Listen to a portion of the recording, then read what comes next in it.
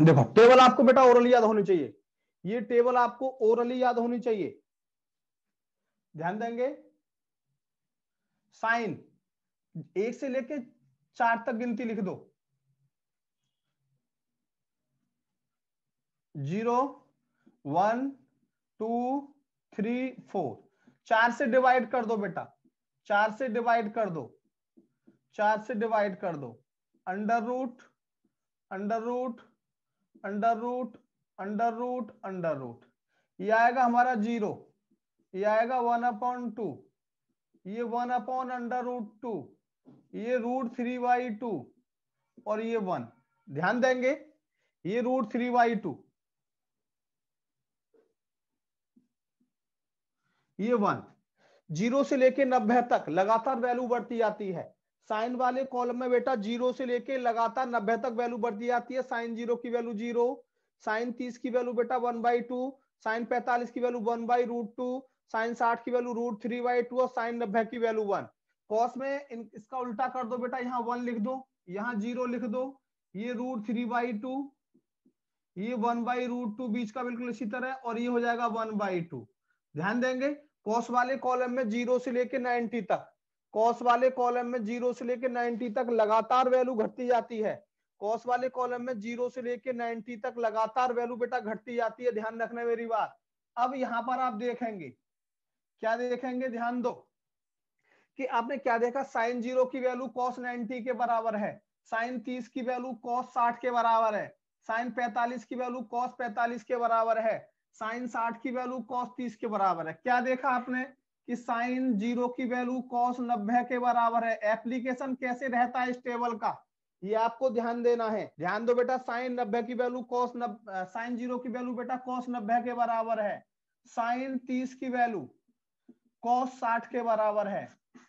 Sign पैतालीस की value cos पैतालीस के बराबर है। साइन साठ की वैल्यू कॉस तीस के बराबर है। क्या देखा आपने? क्या देखा आपने? ध्यान देंगे। आपने ये देखा यहाँ पे कि साइन ज़ीरो की वैल्यू कॉस नाइनटी के बराबर, साइन तीस की वैल्यू कॉस साठ के बराबर, साइन पैतालीस की वैल्यू कॉस पैतालीस के बराबर और साइन साठ की वैल्यू कॉस तीस के बराबर। ज़ीरो और नब्बे कितना होगा नब्बे तीस और साठ कितना होगा नब्बे पैतालीस और पैतालीस कितना होगा नब्बे साठ और तीस कितना होगा नब्बे ध्यान देंगे, ऐसे दो एंगल जिनका सम नब्बे डिग्री हो, ऐसे दो एंगल जिनका सम नब्बे डिग्री होने हम कॉम्प्लीमेंट्री एंगल कहते हैं। यानी कि पूरक अनुकोण कहते हैं। पूरक कोण ऐसे दो एंगल जिनका सम नब्बे डिग्री है। ज़ीरो और नब्बे नब्बे होता है, तीस और साठ नब्बे होता है, पैतालीस और पैतालीस नब्बे होता है, साठ और तीस नब्बे होता है। तो कॉम्प्लीमेंट्री एंगल के लिए साइन और कॉस की वैल्यू बराबर होती है। यदि मैं आपसे पूछूँगा कि साइन चालीस की वैल्यू क्या होगी, आप क्या बताएँगे? साइन चालीस की वैल्यू बताइए, किसके बराबर होगी बेटा? साइन चालीस की वैल्यू बेटा कॉस पचास के बराबर होगी। यानी कि दोनों का सम 90 है। यानी कि कॉम्प्लीमेंट्री एंगल हो गए दोनों। कॉम्प्लीमेंट्री एंगल के लिए साइन और कॉस की वैल्यू बराबर होती है। अतः इन दोनों रेसो को हम कॉम्प्लीमेंट्री रेसो भी कहते हैं। अब यहाँ से एक रिज़ल्ट निकल के आता है। If sine A equal to cos B sine A equal to cos B then it is implies that A plus B equal to ninety A plus B equal to ninety degree ये चीज़ हमारा एक result निकल के आया कि यदि sine A equal to cos B है sine A equal to cos B है तो ए प्लस बी का सम हमेशा 90 डिग्री होगा। हमेशा ए प्लस बी का सम बेटा 90 डिग्री होगा। दूसरा एग्ज़ाम में क्वेश्चन किस तरह से आता है? एग्ज़ाम में क्वेश्चन आता है कि बेटा if sine two theta equal to cos four theta find sine three theta बिल्कुल इस तरह का क्वेश्चन आता है, ध्यान देंगे। बिल्कुल इस तरह का क्वेश्चन आता है कि sine two theta equal to cos four theta then find the value of sine three theta sine three theta की वैल्यू पूछी गई है। साइन थ्री थीटा की वैल्यू ध्यान देंगे। Sine A equal to cos B sine A equal to cos B तो A plus B equal to क्या हो गया? Ninety two theta plus four theta equal to ninety यानी कि six theta equal to ninety theta की value कितनी आ गई? पंद्रह। थीटा की वैल्यू पंद्रह आ गई। हमें साइन थ्री थीटा की वैल्यू निकालनी है। साइन थ्री थीटा की वैल्यू पंद्रह साइन पैतालीस। साइन पैतालीस की वैल्यू क्या होगी बेटा? One upon root two answer one upon root two answer ये चीज़ आप डायरेक्ट यानी कि a plus B two theta plus four theta ninety हुआ। ये बेटा हमारा सिक्स थीटा हुआ। Six theta equal to ninety तो थीटा की वैल्यू कितनी हुई? पंद्रह। यहाँ पे थीटा की वैल्यू पंद्रह फुट करेंगे, साइन पैंतालीस और साइन पैंतालीस की वैल्यू क्या लिखी मैंने बेटा? One upon root two. बोलो बेटा clear?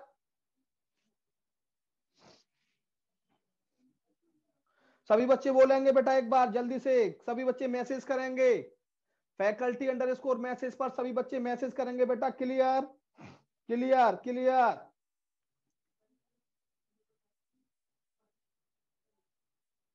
Clear, Narendra, clear.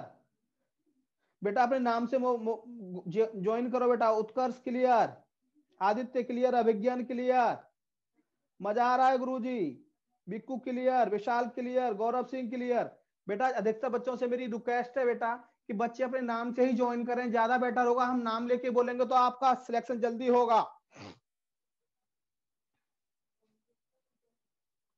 Clear बेटा? नहीं बेटा, आपकी, हम विशाल बेटा बॉयज़ नहीं सुन सकते। आपकी विशाल हम बॉयज़ नहीं सुन सकते बेटा, आपके कमेंट पढ़ सकते हैं बेटा। क्लियर या जल्दी फटाफट कॉपी करिए, फिर मैं आगे कराता हूँ बेटा।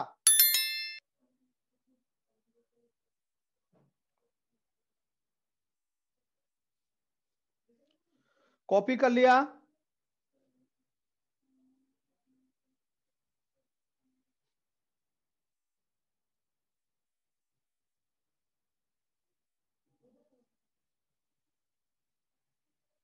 डन गौरव राठी डन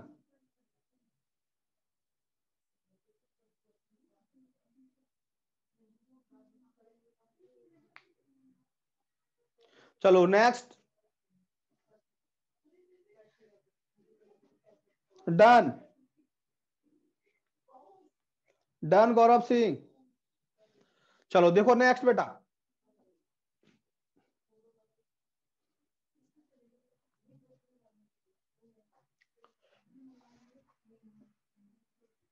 सभी बच्चे, बेटा, आपने ज्वाइन जो करेंगे, बेटा, अपने नाम से करेंगे प्लीज़ देखो, इसके बाद इसके बाद ध्यान देंगे।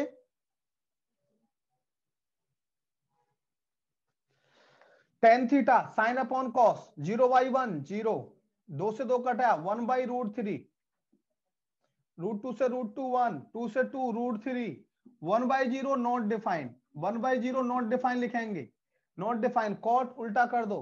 Not define zero, under root three, one by under root three, और ये वन। ध्यान देंगे, यहाँ पे बेटा एक क्वेश्चन पूछा जाता है। ये क्वेश्चन यहाँ पे बेटा पूछा जाता है, ध्यान देंगे।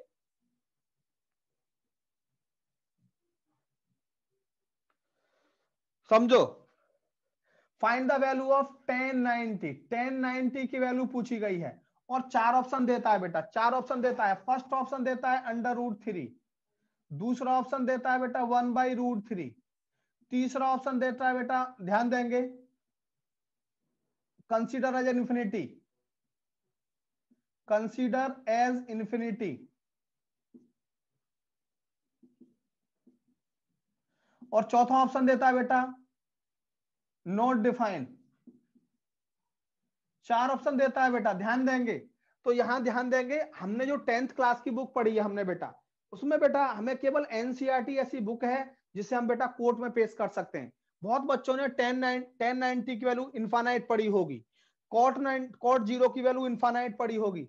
लेकिन बेटा जब दोनों ऑप्शन साथ में होते हैं, यानी कि टेन नाइनटी की यदि हमसे वैल्यू पूछता है और दोनों ऑप्शन साथ में होते हैं कंसीडर एज इन्फिनिटी और नॉट डिफाइन तो इसका जो सही आंसर होगा बेटा, वो नॉट डिफाइन होगा। इसका जो सही आंसर होगा नॉट डिफाइन होगा, क्योंकि टेंथ क्लास की बुक में एनसीआरटी में ये नॉट डिफाइन लिखा हुआ है, और नीचे स्टार में लिखा हुआ है कंसीडर एज इन्फिनिटी इन दोनों ऑप्शन में से जब कोई एक ऑप्शन होता है, इन दोनों ऑप्शन में से बेटा कोई एक ऑप्शन होता है तो वही इसका आंसर हो जाता है। लेकिन दोनों ऑप्शन होने की कंडीशन में इसका जो करेक्ट आंसर होगा, बेटा वो नॉट डिफाइन होगा। कई बार ये दोनों ऑप्शन आ जाते हैं।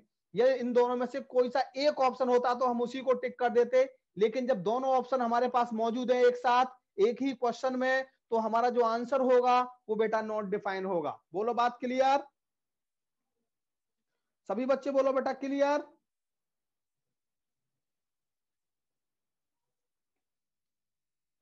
बेटा सभी बच्चे बोलो।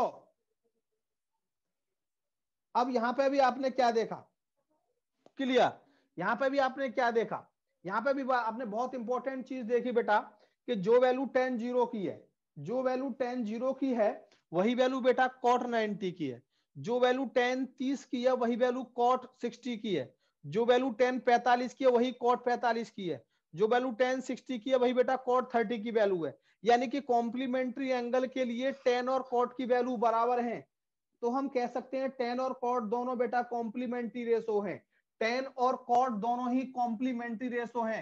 इसको हम लिख सकते हैं कि if tan equal to cot B यहाँ पर हम लिख सकते हैं if tan A equal to cot B tan A equal to cot B then it is implies that A plus B equal to ninety degree tan A equal to cot B तो हम क्या लिख सकते हैं? A plus B equal to ninety degree दूसरा दूसरा हाँ इसमें एक रिज़ल्ट और बनता है कि इसको मैं वन अपॉन टेन लिख दूँ। तो if tan A tan B tan A tan B equal to one tan A tan B equal to one है then it is implies that A plus B equal to ninety degree A plus B का sum 90 degree है तो tan A tan B का product हमेशा one होगा।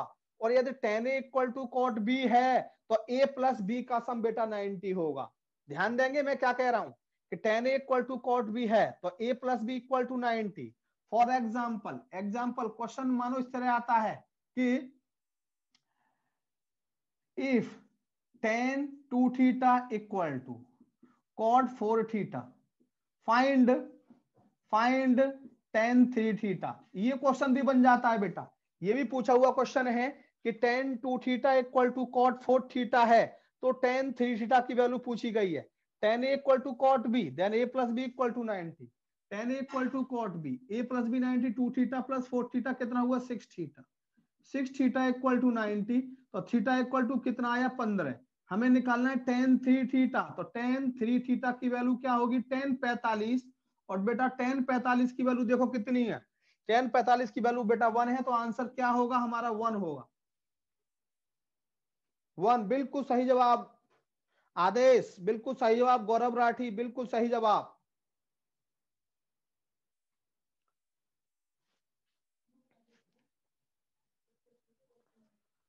हाँ बेटा, आप सभी बोलो बेटा, क्लियर?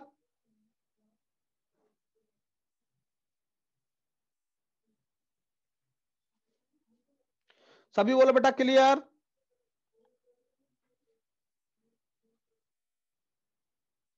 क्लियर। जल्दी कॉपी करिए फटाफट से। Clear clear clear. Excellent clear सा एक एक चीज़ बेटा क्लियर होनी चाहिए आपको। एक एक चीज़ बेटा क्लियर होनी चाहिए।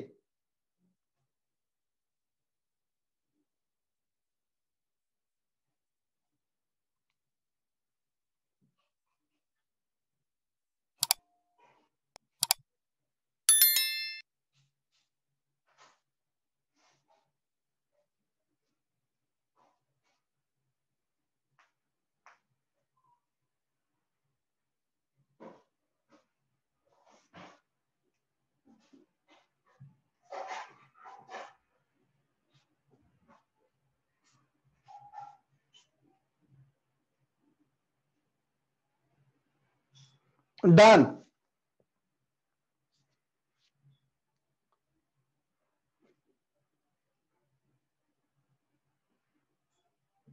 चलो, देखो, इसमें अब दूसरा जो टेन ए टेन बी वाला है, ध्यान देंगे, ये टेन ए टेन बी जैसे फॉर एग्जांपल कई बार क्वेश्चन आता है बेटा, यहाँ पे ये लिखा हुआ है कि टेन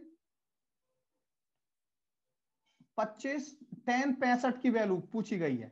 टेन पच्चीस टेन पैंसठ की वैल्यू तो मैंने क्या बोला कि ए प्लस बी का सम 90 है तो टेन ए टेन बी का प्रोडक्ट वन होगा। इन दोनों का सम 90 है। इन दोनों का सम क्या है? 90 पच्चीस और पैंसठ कितना हो गया? नब्बे पच्चीस और पैंसठ कितना हो गया बेटा? नब्बे हो गया। तो डायरेक्ट इसका प्रोडक्ट आप वन लिखेंगे। डायरेक्ट इसका प्रोडक्ट आप वन लिखेंगे। ध्यान रखना। डायरेक्ट इसका प्रोडक्ट वन लिखेंगे, कुछ भी नहीं सोचेंगे। यदि हमें लिखा हुआ है टेन, चालीस, टेन, पचास। दोनों का सम 90 है। डायरेक्ट इसका प्रोडक्ट आप वन लिखेंगे। डायरेक्ट जहाँ पर दो एंगल का सम 90 डिग्री है तो टेन ए, टेन बी का प्रोडक्ट हमेशा बेटा वन होगा। क्वेश्चन में बहुत आएगा देखना आगे।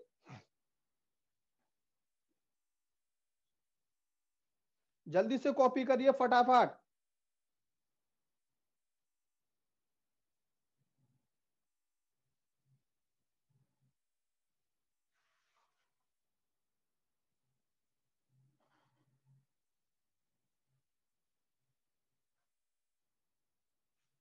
डन चलो नेक्स्ट देखो सेक थीटा जो होता है हमारा सेक थीटा ये कॉस का उल्टा होता है। वन का उल्टा one two by root three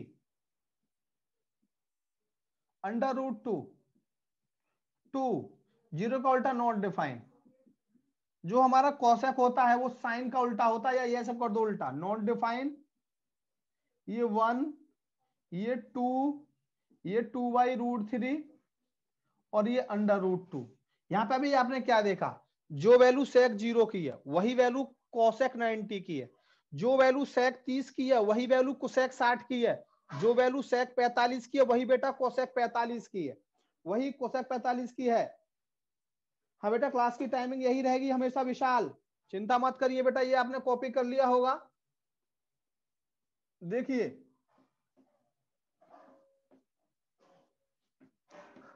यहाँ पर तो कह सकते हैं if sec A equal to cosec B sec A equal to cosec B then it is implies that A plus B equal to ninety ये भी सेक और कुसेक दोनों कॉम्प्लीमेंट्री रेसो होते हैं। सेक और कुसेक बेटा कॉम्प्लीमेंट्री रेसो होते हैं साइन और कॉस कॉम्प्लीमेंट्री रेसो होते हैं टेन और कॉट कॉम्प्लीमेंट्री रेशो होते हैं। इसका मतलब तीन कॉम्प्लीमेंट्री रेसो हो गए बेटा। Sine cos tan cot sec reciprocal ratio अलग चीज़ है। रेसिप्रोकल साइन का रेसिप्रोकल कॉसेक होता है। कॉस का रेसिप्रोकल कॉस का रेसिप्रोकल बेटा सेक होता है। टेन का रेसिप्रोकल कॉट होता है। तो तीन रेसिप्रोकल रेशो है हमारे पास और तीन कॉम्प्लीमेंट्री रेशो है। ध्यान रखनी है आपको मेरी बात। तीन रेसिप्रोकल रेशो है और तीन कॉम्प्लीमेंट्री रेशो है। सफलता क्लास के यूट्यूब चैनल को ज़्यादा से ज़्यादा बच्चे लाइक करें, सब्सक्राइब करें। बेल आइकन प्रेस करें ताकि सभी नोटिफिकेशन आपको टाइम टाइम पर मिलते रहें।